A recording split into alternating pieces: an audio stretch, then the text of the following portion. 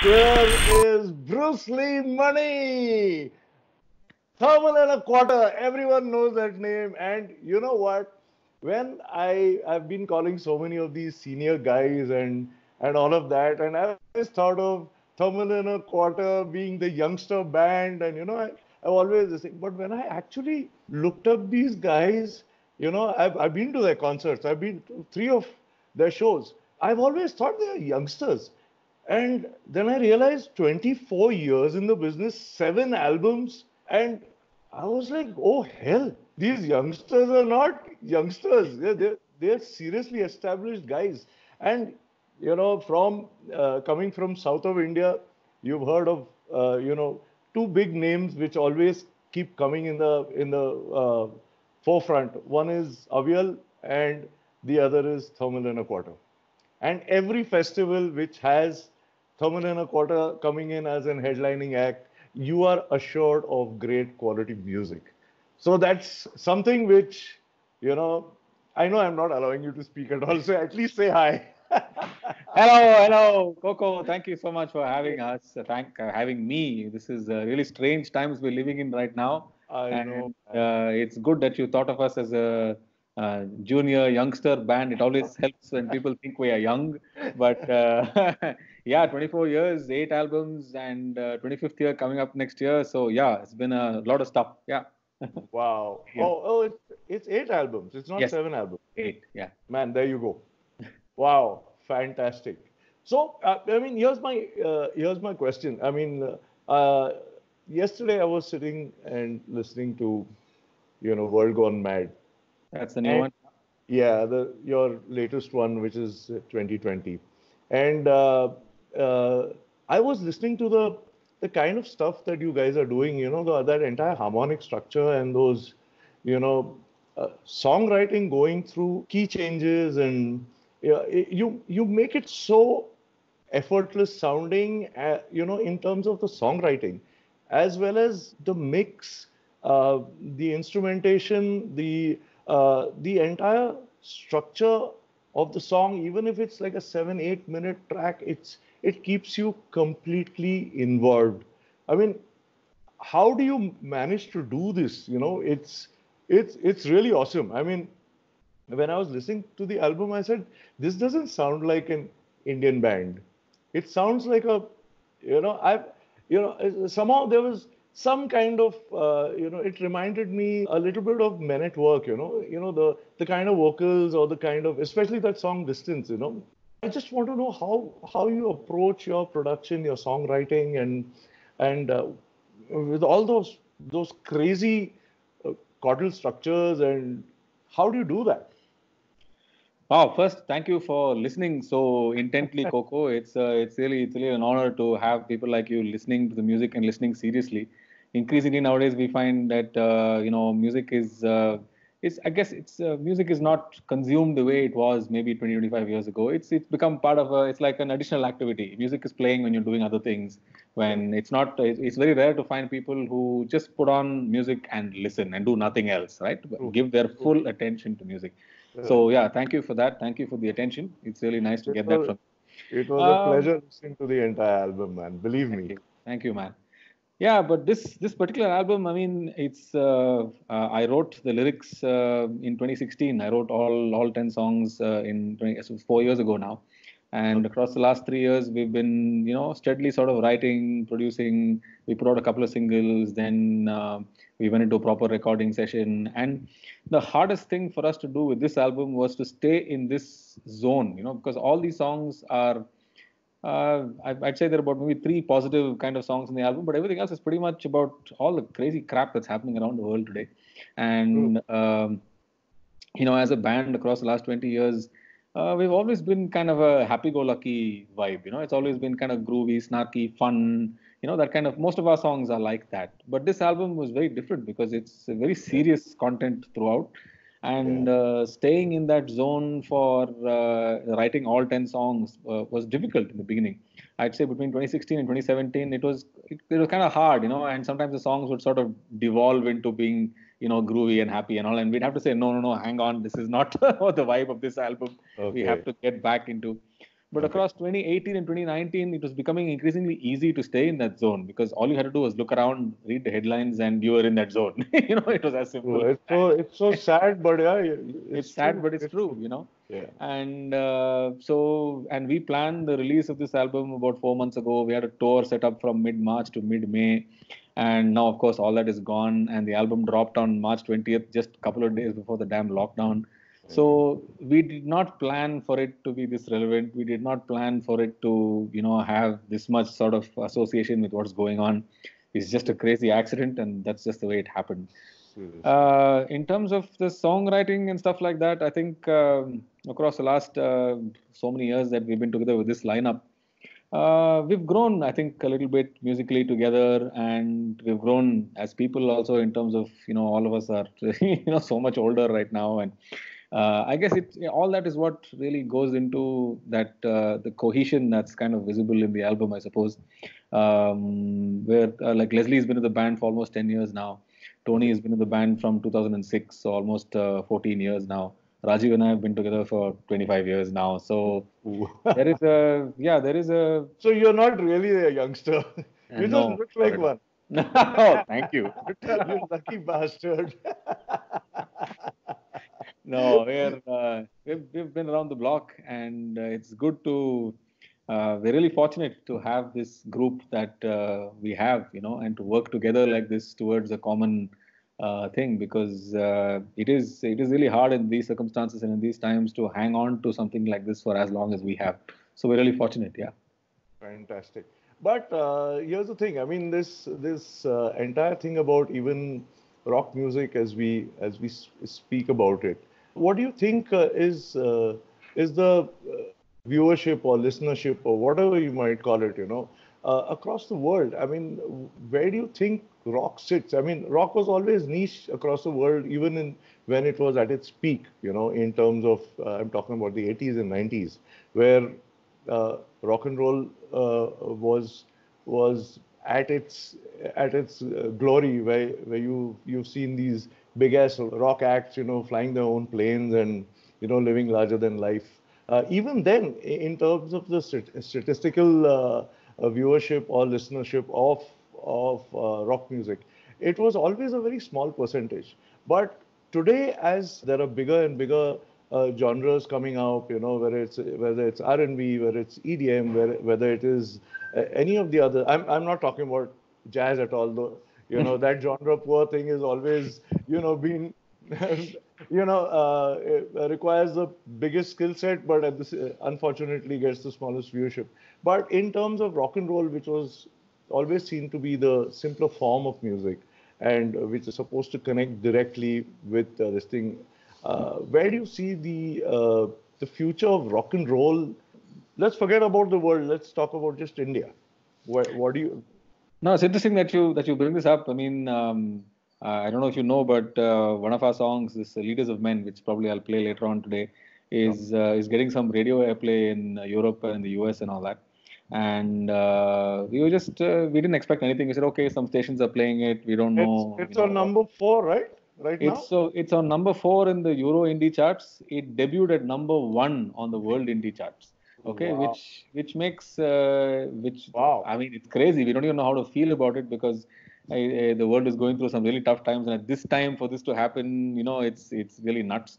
But uh, i think uh, uh, yeah while it's true that uh, any kind of non-mainstream chic sorry um, you know niche music is uh, seems to uh, seems to attract uh, smaller and smaller audience, but the audience is pretty devoted to it. Is pretty you know uh, strong in its following. It's pretty committed to its uh, its support. They're of, extremely of loyal. Yeah, that loyalty and all that is there. But I think uh, like this recent thing for a song like ours to debut or this high on indie charts, at least not obviously signed bands charts and all that. it just says that it's just about. I think maybe it's just about uh, the music and its relevance and how people are uh, reacting to it. And that could be with any uh, with, with, with any style. It doesn't have to specifically be rock or hip hop or pop or anything. It, it, it's just about maybe the timeliness of the of the track and how relevant it is to everyone and how it's consumed. Because uh, we live in a world when information exchange is instantaneous. We live in a world when uh, the, the, the the information that's coming to all of us also is so huge and overwhelming and uh, it's it's too much to take in, right? It's uh, sure. none of nobody can process the amount of information that's coming at them every day just on their phones, right? Yeah. If you have to look at every message, every forward, every uh, uh, uh Facebook notification, every Instagram, you just can't. There's just too much. It's an ocean, and that's sure. ha- happening every second. So in, in between all that, I guess eh, all all we can be happy about is that again we are fortunate enough to continue doing this thing that we love uh, we are, you know, making music that we want with no one telling us what to do. There is no record label or producer or uh, or big daddy saying, no, I don't like that chord, don't use it. I don't like this word, don't use it. Yeah. It's, com- it's complete freedom. We do what we want, and uh, you know, we'll fight for that. We've, we've fought for this all this time, and we'll keep doing that. Uh, and that's what it is. And as long as you're you're you're able to do it, and you find whatever way it takes to keep that going, right? You uh, you you know you do some other business on the side. You try and you know do some other music. There are lots of artists who have multiple bands right? Band a is the one that you keep close to your heart. Band b c d e f are the things that you do to make sure the bills are paid.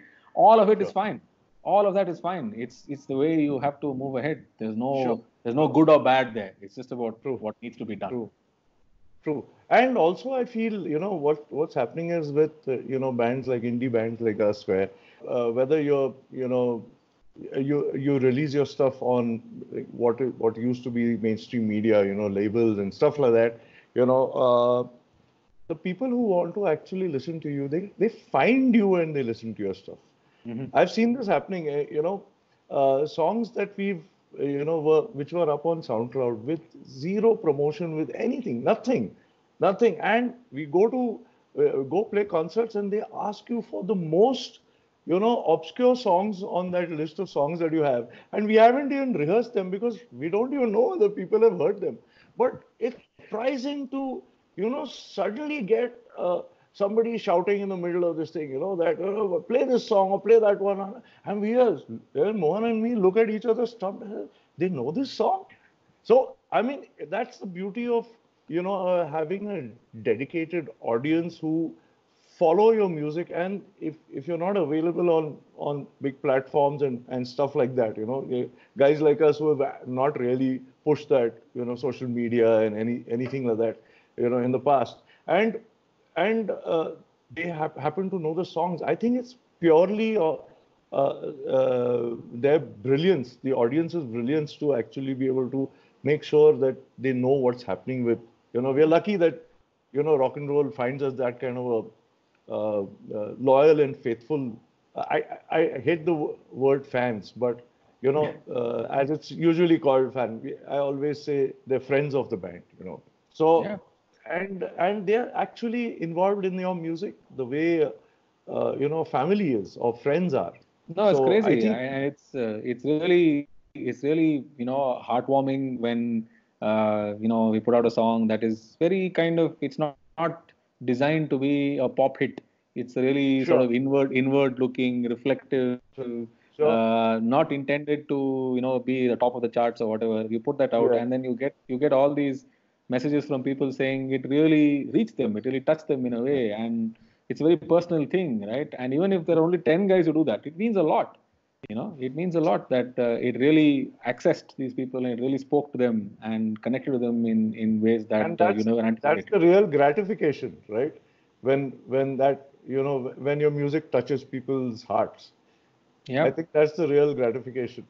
Sure sure. So uh, see in in terms of uh, uh, you you've been a guitar player where where uh, you've created a certain style i mean when you think about Bruce Lee Mani uh, uh, as the name, uh, when you think about uh, there are some names which come from different parts of the country. You know, there's Sumit and you know Amit Datta and you know these kind of names, Ehsaan Noorani. You know, guitar players. You know, Leslie Lewis. All these guys. There's been a you know there's always been a strong connection in terms of the guitar playing style, and I've always seen that each person that whether I've interviewed them in the series or not, each person has a unique style, you know.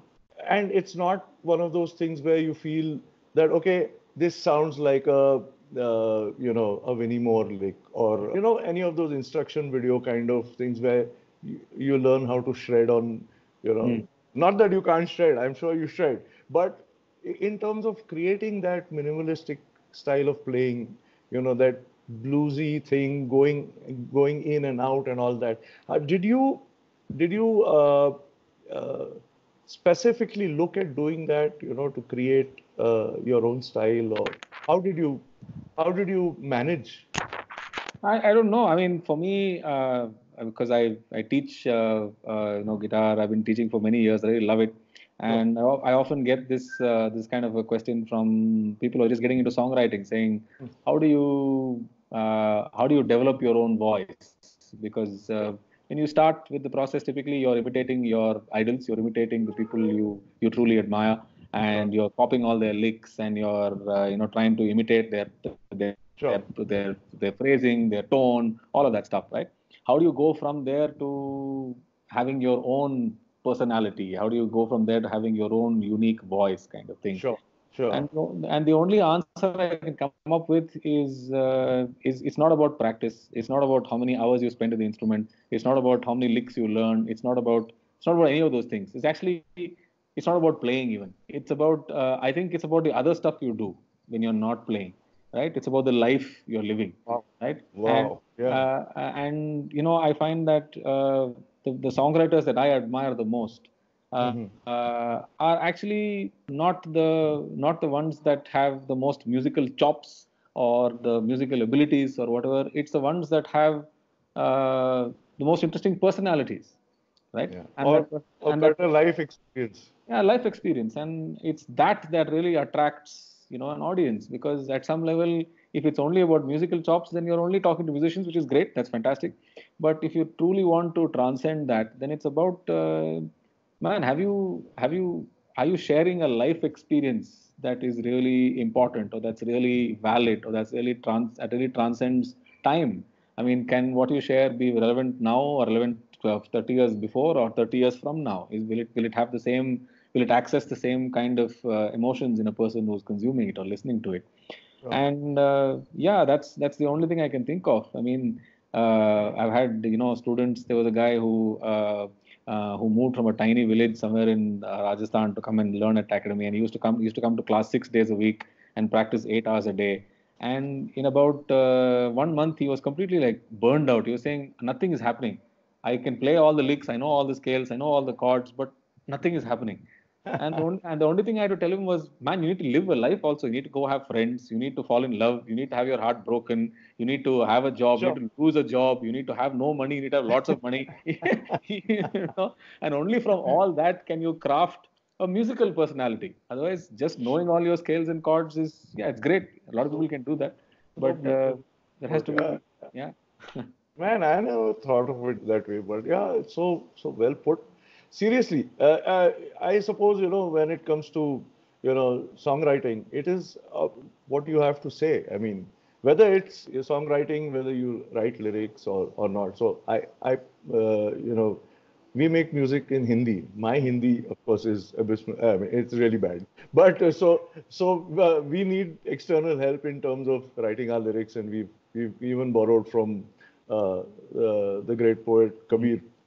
So uh, in in that sense, uh, but yeah, it makes uh, it makes very a lot of sense when you say that it's it has to be about life experience and it, it just can't be about chops you know. In fact in fact in in most of our tracks uh, you know i've started producing most of the music in the last seven eight years and whatever. It's it's about now i look at the song length before i start you know. It's it's right there. And and that for guitar solo, if it's there, you know, it's probably 12 bars or 16 bars at, at the most, which is going to get cut anyways in the in the video edit. So I mean, just too bad. That's the first thing which goes because the the mukhda and antara in this case, you know, the verse chorus, whatever you might call it, those are the the important the the important part of uh, the song.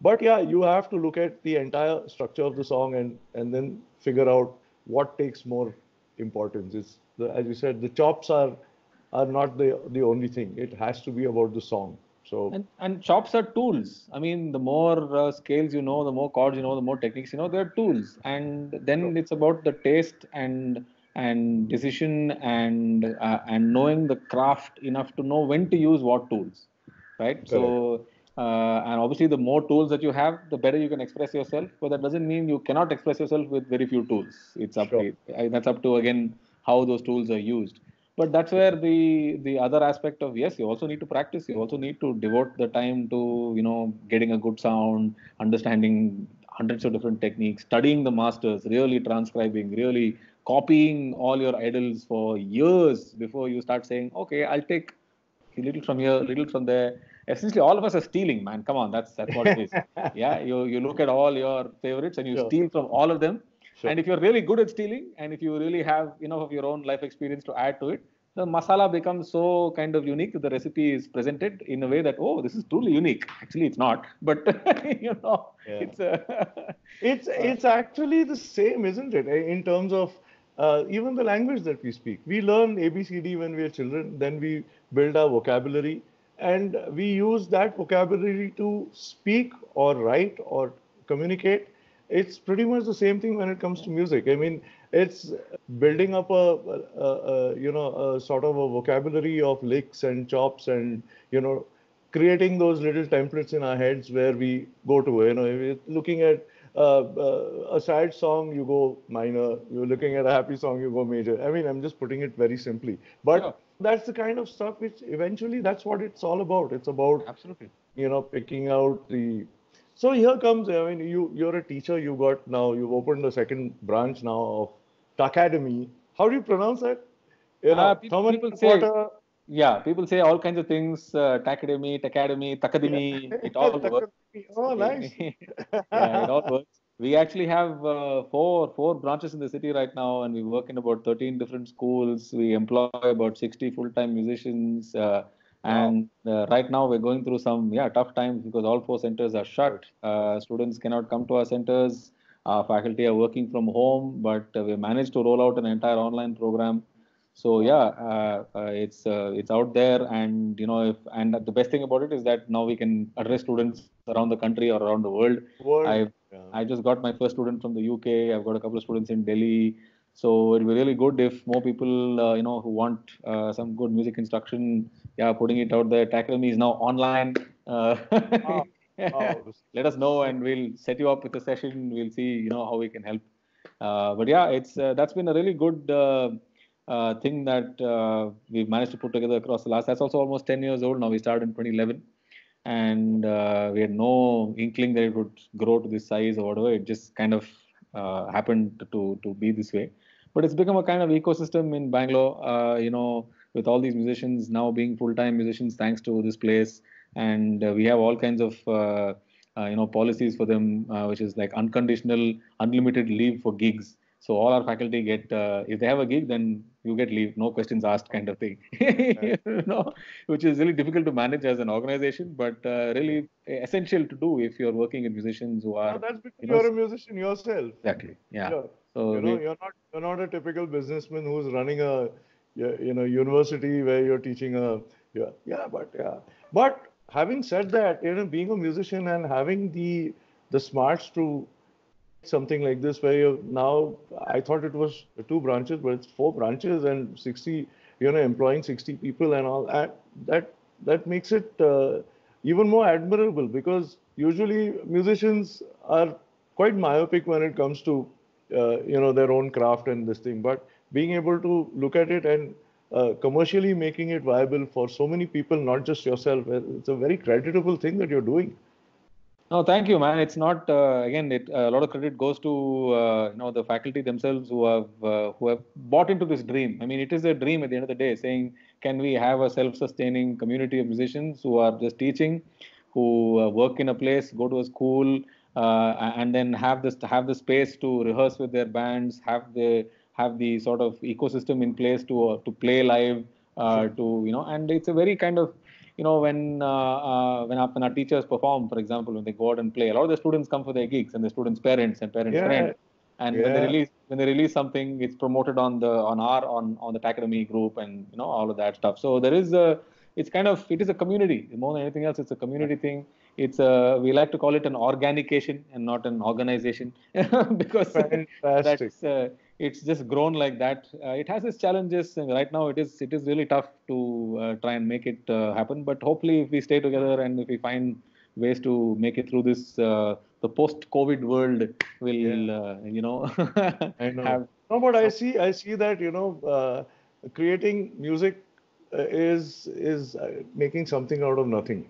And today I, you know, there's a very admirable thing about you is that you've created an entire world around yourself uh, you know, out of nothing. It's it's actually out of nothing. You've created a world around you. You've you know uh, spread it across, and you know you're leading a full. I mean, you're leading a full life of performing, songwriting, teaching, uh, spreading knowledge. It's it's fantastic, man, Bruce. Really, really admirable. Thank you, man. I mean, just just trying to keep it all together. Fantastic. so now I'm gonna I'm going to put you in a spot. I'm going to ask you to sing a song, maybe uh, for this current situation, if you have something or sure, anything, yeah, maybe absolutely. Yeah, yeah, Absolutely. we'd just love to hear you do a small bit for us. Yeah, yeah. yeah. So this is the this is the song that's being played on uh, uh, European radio and all that right now. Wow. It's a uh, it's a song called "Leaders of Men," and uh, it is, I guess, kind of relevant to what's going on because uh, uh, Uh, it's no, it's it's not uh, it's not wrong to say that uh, through a time like this when the world is going through some really difficult uh, uh, you know periods, we have, we have seen quite you know bad examples of leadership. You know when True. the people that we look up to, the people that we really yeah. think will guide us through this and keep us together are doing exactly the opposite. You know, the so. Yeah so it is a kind of topical thing i suppose. And uh, sure. yeah i hope it uh, comes through the little mic here. Yeah. but here we go yeah. And yeah this is uh, very inspired by uh, mark knopfler so in, again in terms of stealing. I have uh, completely stolen uh, the, the, vibe don't from... be on don't be on exactly. So yeah, and most people who hear it the first time say, "Hey, you, you like Mark Knopfler, don't you?" Like, yeah, absolutely. and uh, total tip of the hat to the man. And uh, yeah, here it goes. It's called Leaders of Men. Yeah, it starts with. Uh, your head is about the same size. You bleed, you cry, you get fat.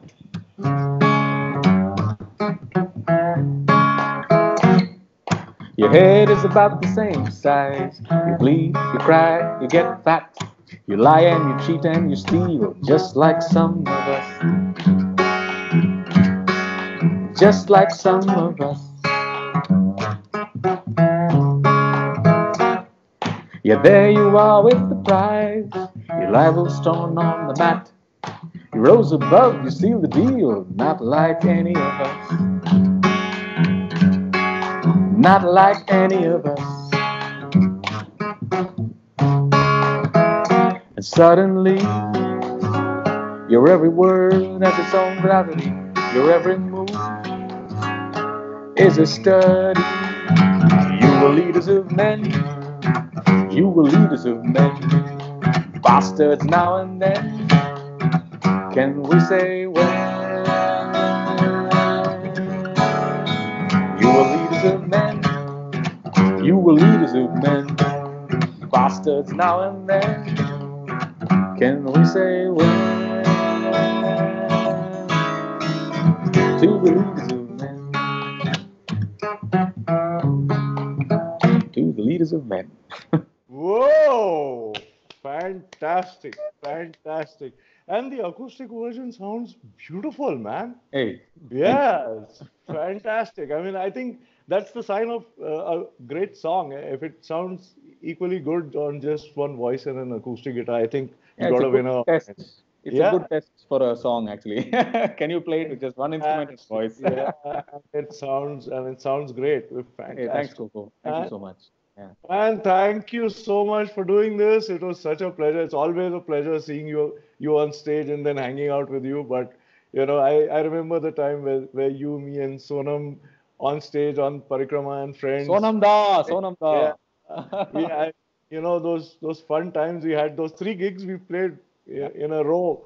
You know, Delhi, Bangalore, and uh, where was the other one? Bombay. Bombay. Were you there in Bombay? You were there in Bombay as well. Yeah, yeah. So all three shows where we were standing up there and uh, playing and uh, shredding those solos. It was so much fun. That's actually And- the first time we actually hung out for any length of time. yeah. I mean, I've, Yeah. I've, I've, I've seen you. Here's my chance to make you feel old. Uh, I saw I saw you guys. Uh, I'm going in- to turn 50 this year, man. Arre, wow, fantastic. Yeah, I saw you guys uh, in Bangalore 1997 Lee Rockout. Uh, okay. yeah, that was with Lucid Dreams, uh, Agni, and Pentagram. That's the that's the first time I saw you on stage. You had uh, you had a they had this really small Boss processor, the Boss some Yeah, really yeah, thing, and V5. it, yeah, the V5. That is, yeah. yeah, I bought I- it from Roy Venkatraman. oh my god. yeah, and everyone was talking about, man, you got to check out these guys, Koco. You know, he's got this tiny processor, but he makes it sound huge. And uh, and I remember being in that audience over there and watching you guys and saying, yeah, that that would be a nice place to be in. You know, on a stage like that with uh, with a band like that and so on. So that's when I first saw you. And uh, I don't think I met you at that gig. You guys are all too big, and we were just kids in the crowd. But uh, uh, but after that, to you know be on stage with you and and have have that blast that we did with uh, Sonam and the rest of the Parikrama gang, uh, that was the first time we actually got to hang out and I got to know you and all of that. So yeah, it's great, man. Thank you for doing this. Thank you for you know uh, uh, doing this whole series that you're doing, and it's great that you're talking to all all of all musicians around and and just sharing this uh, this thing. And I hope you know from these conversations, people are able to get you know some Yeah. something you know out of this. So yeah, thank you. Uh, really great talking to you, and thanks for doing this. Fantastic. Thanks, man. Thanks.